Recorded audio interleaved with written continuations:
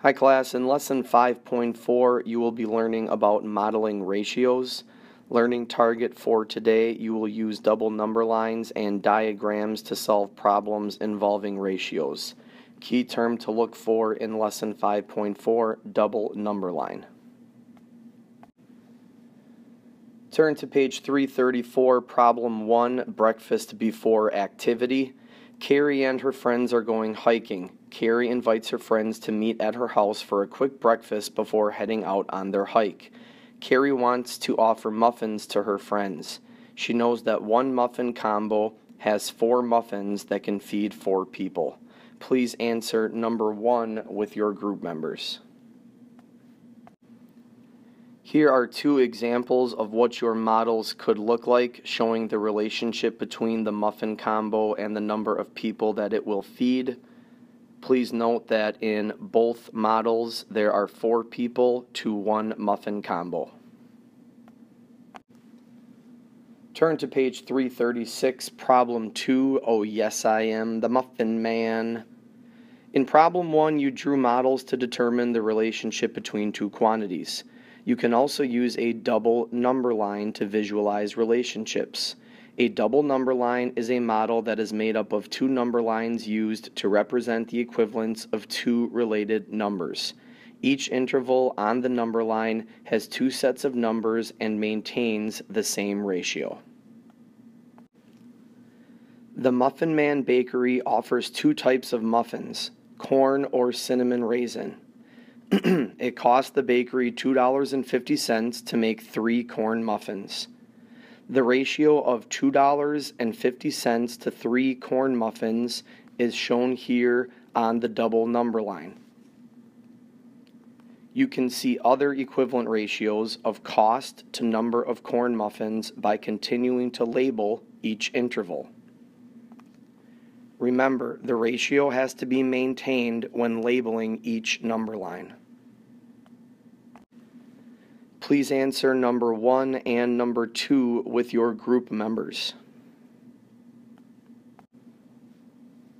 The first new ratio is $5 to 6 corn muffins made, and the second new ratio is $7.50 to 9 corn muffins made. For number two, the interval for the cost number line is $2.50 and the interval for the number of corn muffins made number line is 3. In lesson 5.5, you will be learning about using tables to represent equivalent ratios. Learning targets for lesson 5.5, you will create tables of equivalent ratios and use known values in a table to determine equivalent ratios. Turn to page 342, problem 1, Earth weight to moon weight. Gravity is a natural force that attracts objects to each other.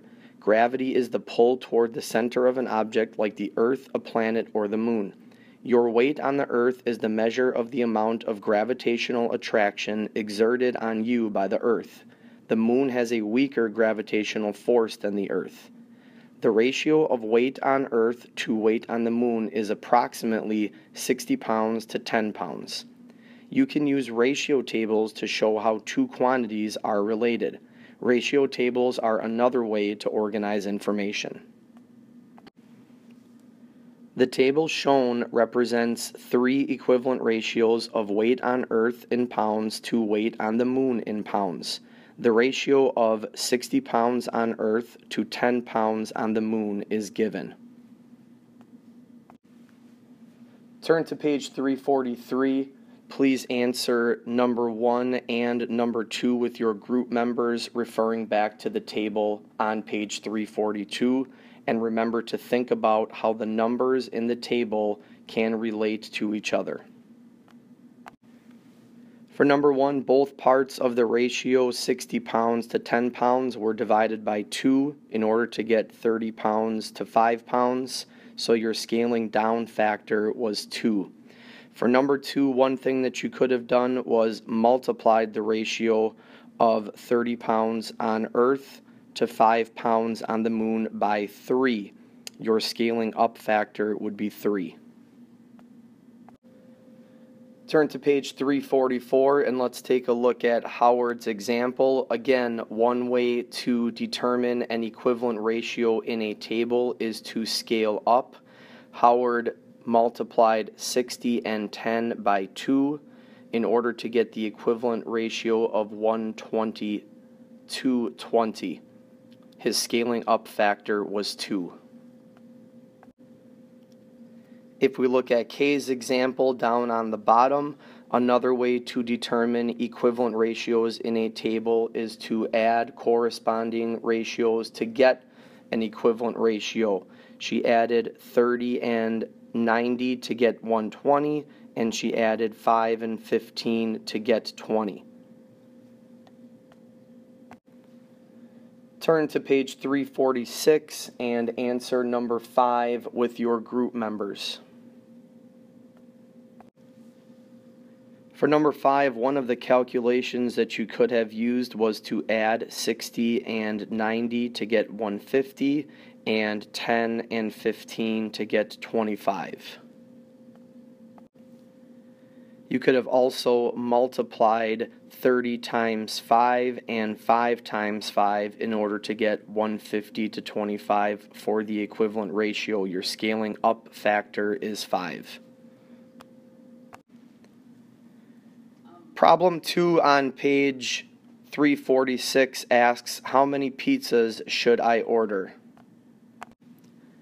The sixth grade pizza party is planned for tomorrow. Tracy is in charge of ordering the pizza for 450 students.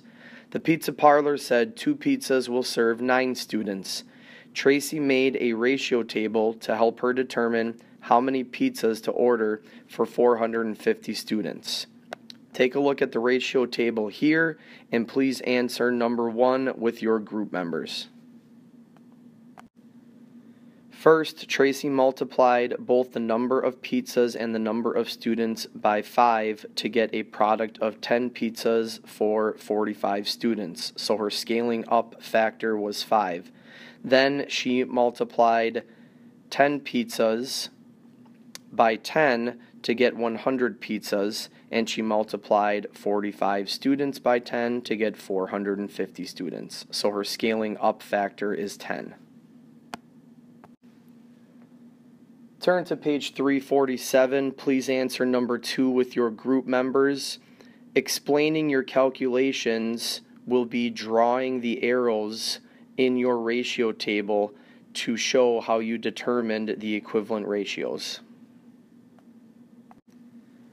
Let's go through each ratio step by step so that you can see the calculations. For 30 to 135, I multiplied 10 times 3 and 45 times 3 to get my equivalent ratio. For the ratio of 60 to 270, I multiplied 30 times 2 and 135 times 2 for my equivalent ratio. For the ratio of 50 to 225, I subtracted two corresponding ratios. 60 minus 10 gives me 50, and 270 minus 45 gives me 225. For the ratio of 200 to 900, I multiplied 2 by 100 and 9 by 100. And for the last ratio of 300 to 1,350, I added two corresponding ratios. 100 plus 200 gives me 300, and 450 plus 900 gives me 1,350. This will conclude today's lesson on modeling ratios, double number lines, and using tables to represent equivalent ratios. Please let me know if you have any questions. Thanks.